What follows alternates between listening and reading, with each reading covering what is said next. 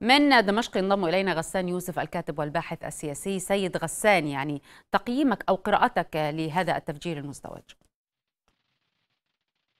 صباح الخير لك وللساده المشاهدين. يعني طبعا يعني تفاجأنا هذا هذا الصباح بهذا الانفجار.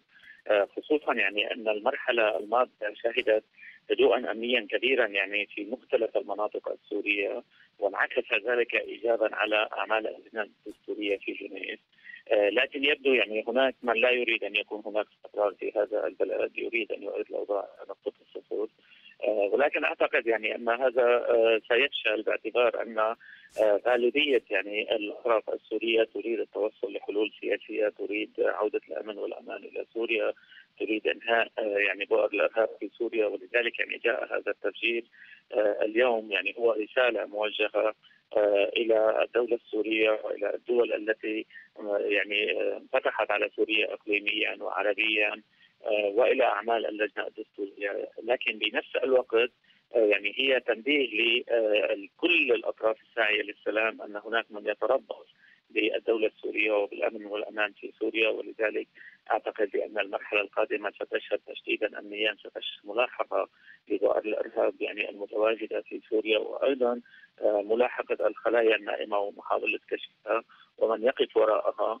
وطبعا يعني تعرفين بأن حتى الآن ما زالت هناك أرض محتلة لسوريا في الشمال السوري تدعمها أنقرة وهي تدعم جبهة النصرة وأيضا قطر يعني ما زالت تقدم الرواتب والسلاح لهذه المنظمة الإرهابية وأعتقد أن ربما يعني هذه كان دولتان تقفان وراء هذا التفجير إن لم تكن اسرائيل. نحن نعرف يعني بأن الوضع الإقليمي الدولي بشكل عام يعني هو إيجابي تجاه سوريا يعني حتى امس سمعنا تصريحات إيجابية من الولايات المتحدة ومن الاتحاد الأوروبي عن أعمال اللجنة الدستوريه ولكن لم نسمع أي تصريح يعني من هذه الدول التي تدعم الإرهاب في سوريا. ولا يعني حتى أن قطر يعني قالت بأنها لا تريد عودة سوريا لجنات الدول العربية. واستمرت في دعم المجموعات الإرهابية وأيضا انقره يعني ما زالت تحمي الارهابيين بتحصينات وتدعمهم بالسلاح والمال.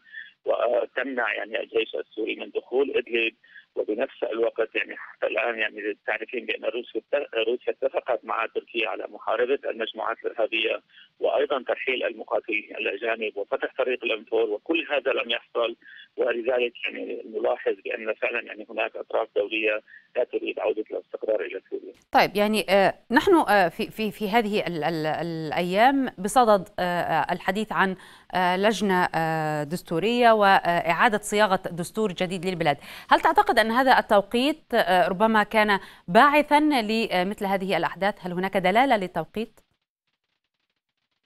أنا أعتقد نعم يعني أن نجاح العمل في اللجنة الدستورية واتفاق الأطراف ويعني جلوسها مع بعضها ويقول بيترسون إنهم اتفقوا على عملية الإصلاح الدستوري وأيضا يعني سمعنا تصريحات إيجابية حتى من الطرف المقابل أعتقد بأن كل هذا لا يرضي الكثير من الأطراف التي يعني هي بالوقت نفسه تريد استمرار يعني الحرب في سوريا تريد استمرار عدم الاستقرار في سوريا ولذلك لاحظنا هذا التفجير جاء في هذا التوقيت الذي كان يعني هناك أمل للسوريين. لاحظنا يعني امس عندما وردت الأنباء من جنيف بأن هناك يعني بعض الأمل انبثق من جنيف بأن يكون هناك توافق ما بين الأطراف السورية المتواجدة في جنيف والتي قالت بأنها تريد أن تصل إلى حل. يعني وحتى ان يعني سمعنا يعني أخبار من المعارضه أنهم لم يعارض حتى تعديل دستور 2012 وأن يرضي جميع الأطراف. ولذلك يعني جاءت جاء هذا التفجير اليوم فعلا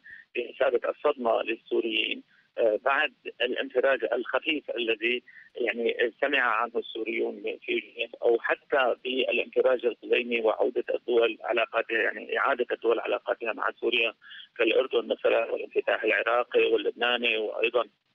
يعني سمعنا بأن الدول الخليجيه ومنها السعوديه يعني ستعيد سفارتها إلى سوريا وتعرفين العلاقات الجيدة والممتازة ما بين مصر وسوريا والإمارات وسوريا والجزائر وسوريا.